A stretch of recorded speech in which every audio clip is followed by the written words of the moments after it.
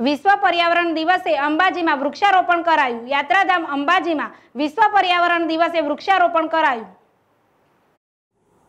યાત્રાધામ અંબાજીમાં વિશ્વ પર્યાવરણ દિવસે વૃક્ષારોપણ કરાયું. અંબાજીની આદ્યશક્તિ જનરલ હોસ્પિટલમાં વૃક્ષારોપણ કરાયું. સવારે અગિયાર વાગે ભાજપ મંડળમાં વન વિભાગ હોસ્પિટલ સ્ટાફ તેમજ મંદિરના વહીવટદાર શ્રી દ્વારા હોસ્પિટલના આગળના ભાગમાં વૃક્ષારોપણ કરવામાં આવ્યું.